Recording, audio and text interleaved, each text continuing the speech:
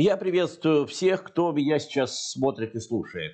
Дорогие друзья, мы с вами не встречались э, в течение недели. Вот э, у нас очередной стрим сейчас, посвященный как раз итогам э, прошедших как раз событий, которые имели место на предыдущей неделе. Напоминаю вам, что у нас следующие космические констелляции. Только что случилось новолуние.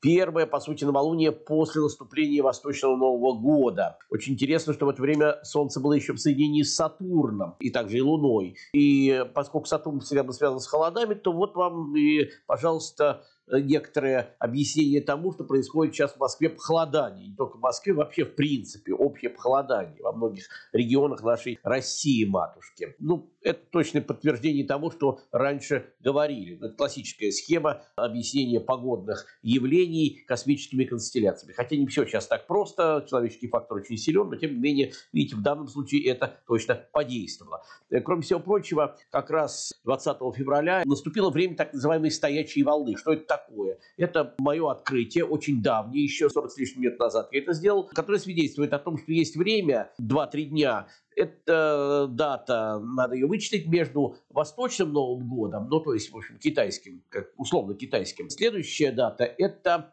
Навруз, так называемый, или космический Новый год, совпадающий с Днем весеннего равноденствия. Вот средняя дата между ними, она очень важна. Почему? Потому что она связывает два календаря. Первый календарь восточный связан с циклом Юпитера, 15-летний круг, второй связан с циклом Сатурна. Раньше он был 32 года, цикл Сатурна, сейчас около 30 лет. Так вот, связующая нить между ними, а также и между тем, что представляет из себя Юпитер и Сатурн, то есть Юпитер – это общественная деятельность, а Сатурн – это индивидуальное начало. Так вот, между ними как раз баланс между своими личными интересами и интересами общественными как раз вот где-то вырисовывается и должен быть определен в это самое время, время стоячей волны. Это время очень серьезного выбора, даже если люди его не осознают. Также это выбор для государств, для политиков, для каких-то серьезных корпораций. Вот давайте будем наблюдать, что происходило в данное время. У нас это обращение президента нашего Владимира Путина к федеральному собранию, которое совпало как раз с временем стоящей волны. Что за ним будет стоять, мы очень скоро можем как раз проверить. Э, некоторые говорят, что за ним ничего практически не стоит, кроме слов. Другие говорят, что нет, надо читать между строк. А мы вот скоро проверим. По крайней мере, попытка э, заложить какую-то программу в этой речи точно была. Ну и, в общем-то, другие показатели, которые тоже очень интересны. И это общие космические констелляции на ближайшее время. Ну а теперь давайте посмотрим, какие были события. Ну, конечно, неделя была насыщена на всякие там аварии, теракты, землетрясения еще продолжаются. Вот, пожалуйста, в Турции, в том же самом месте. 18 февраля в ночь на 19 опять были зарегистрированы подземные толчки силой более 5 баллов на той же самой долготе. То есть это долгота Москвы 37-38 градусов северной широты. Что это значит? Это значит, что закладывается какая-то программа, незримо, конечно, может быть, даже и, в общем-то, никакие темные силы за этим не стоят, хотя я уверен, что стоят. Это мое личное мнение, хотя я всегда придерживаюсь вывода о том, что конспирологическая версия должна рассматриваться в последнюю очередь. Надо все-таки быть реалистом и избегать всевозможной там мистики и всяческих там углублений в непроверяемую какую-то бездоказательную систему. Вот я и хочу сказать, что даже если за этим никто не стоит, даже как если за параноиком могут следить, даже если он параноик, то за ним тоже могут следить, также и здесь. Все равно закладка проблемы, которая будет потом связана с нашей столицей нашей Родины, с Москвой, это может вызвать. И выразится это в довольно тяжелых событиях, которые мы можем в худшем случае наблюдать летом этого года, а также и в конце 2023, начале 2024 года. Дай бог, чтобы этого не произошло, потому что все можно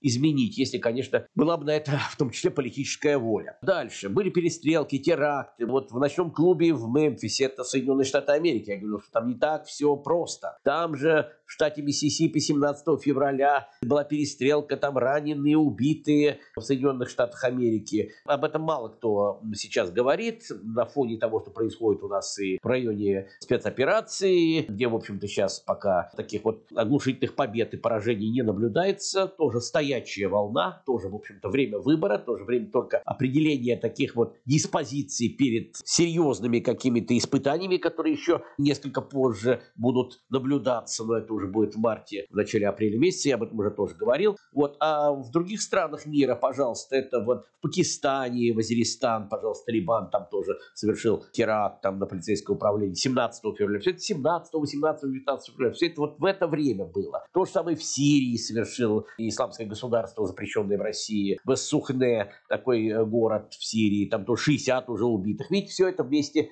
говорит о том, что то, что я говорил, о том, что милитаризация нашей жизни, она уже наступила. К сожалению, события это подтверждают многие. Это можно найти подтверждение в небесных констелляциях. В данном случае не надо кричать на планеты. Планеты не влияют. Они являются только индикаторами того, что происходит у нас. Так вот, все это время Марс он правитель уходящего года до 20 марта, он будет еще таким так называемым хронократором этого года, находился в негативном соотношении с Плутоном. В общем, это один из показателей того, что могут происходить военные действия, теракты всевозможные, взрывы и так далее. По крайней мере, по статистике это очень часто бывает именно так. И будет продолжаться еще некоторое время. Как раз именно то время, когда Марс в дурном аспекте с Плутоном находился, все это мы как раз, к сожалению, и наблюдали. И другие, так сказать, взрывы, и вот, пожалуйста, и тоже в Америке, в Америке уже сейчас, 14 февраля, там, взрыв завода в штате Огайо, куда приехал как раз Трамп. А до этого, 6 февраля, там еще была катастрофа, связанная с химическими веществами, там тоже взрыв был. То есть многие всевозможные ситуации, которые показывают о том, что, в общем-то, действительно сейчас время напряженное, но не самое такое еще, не взрывное время. Еще будет позже эти показатели будут э, проявляться. Еще плюс ко всему, что в это время был на небе большой крест, так называемый, с черной так называемой луной. То есть, в общем-то, а, черная луна всегда связана с искушениями и с темными силами. Так что чья-то злая воля здесь, к сожалению, видна и будет еще наблюдаться тоже некоторое время. Что еще было заметно? Прошедший недавно форум такой, или саммит правительств, так называемый, который с 13 по 15 февраля происходил, и он был в Объединенных Арабских Эмиратах в Дубае. Происходят там, кстати, такие саммиты или форумы проводятся ежегодно с 2013 года уже. И в данном случае он прошел очень интересно под лозунгом формирования правительства будущего. То есть вот некоторые уже говорят, я посмотрел по открытым источникам, что уже никакой конспирологии не надо, все уже в открытую, так называемый открытый заговор. То есть уже, всем известный там Клаус Шваб выступал, и он даже презентовал свою программу «Великая перезагрузка» еще раз, так сказать, там про нее рассказал, и о том, что он сказал, например, что те, кто контролирует новые технологии, четвертой промышленной революции, например, искусственный интеллект и так далее, там, околокосмические технологии, синтетическую биологию, тот, в общем-то, и становится, и станет хозяином мира будущего. То есть и через 10 лет он совершенно четко заявил, что наш мир будет абсолютно совсем другим. То есть это программа инклюзивного капитализма и прочее он еще раз объявил. Но вроде бы как некоторых людей это насторожило, там очень много было представительств из разных стран, там и в том числе и президенты и так далее, правительства. Но интересно, что он был подпорчен чем этот саммит. Э, тоже об этом говорят, что Илон Маск, который там должен был выступить, он таки выступил. И он сказал совершенно не то, что от него хотели услышать. Говорил, что наоборот, глобализация глобализация может быть вредна для человечества, что наоборот э, нужно, если не разъединиться, то, по крайней мере, все совместные усилия могут привести и к тяжелейшим там катастрофам, потому что если где-то она возникнет, то вот в тех условиях, к которым призывают эти форумы, это может привести к совершенно жутким последствиям. Ну, в общем-то, это была такая ложка дегтя в общей бочке меда. Мнение Илона Маска, который в данном случае является какой-то темной лошадкой. Видимо, играет какую-то другую игру, очень интересную. Если посмотреть его гороскоп, рожденный под знаком рака, он, конечно, не так-то прост. У него многоходовки всевозможные. И вероятно, что вот этим своим выступлением он поставил других фаворитов, возможно, тех, которые сменят нынешних, слишком сильно засветившихся. Так что, как раньше говорили, доверяй, но проверяй, в том числе и Илона Маска. Но вот интересно, что действительно его мнение прозвучало неким диссонансом. Если посмотреть на космическую констелляцию, которая в то время на небе была, то можно увидеть, что, во-первых, это произошло во время, да, действительно, вот той самой крестовой ситуации. То есть это действительно включило некую такую вот программу тяжелых серьезных испытаний. В так называемом Большом Кресте была задействована еще, как я говорил, черная луна.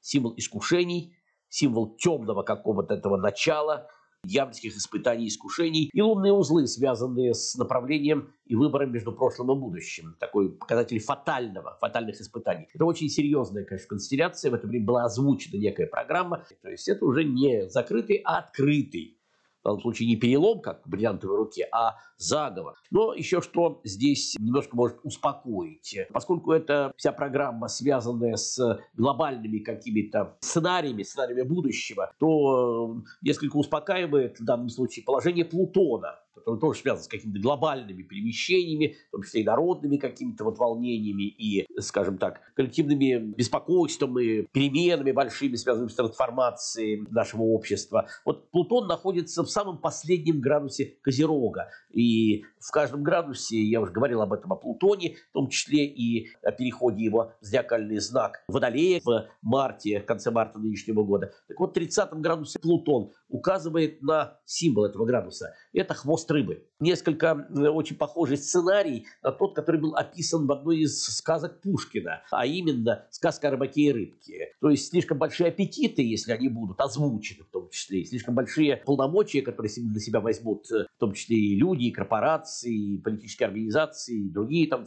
тайные в том числе силы, они могут привести к тому же самому финалу, в котором пришла известная героиня той же самой сказки, то есть старуха из сказки «Золотой рыбки», потому что рыбка, как вы помните, там в конце этой сказки ничего не сказала рыбка, лишь хвостом по воде плеснула и ушла в глубокое море, а дальше разбитая корыта. То есть вот возможным это э, будет и так, если, конечно, предположить, что у них такие вот слишком такие глобальные цели, и они несколько оторвались от наших современных реальностей те, кто, по крайней мере, вот это все затевал. Ну, давайте посмотрим, поживем, как говорится, увидим. По крайней мере, в ближайшее время нас ожидает период так называемых стоячих волн, то есть вот э, закладки больших серьезных программ. Вот видите, уже президент Российской Федерации уже сие озвучил, ну, по крайней мере, не столько озвучил, сколько своим появлением. В точное время стоячей волны он уже показал, что есть некое желание перегруппировки, есть некое желание включения других каких-то сценариев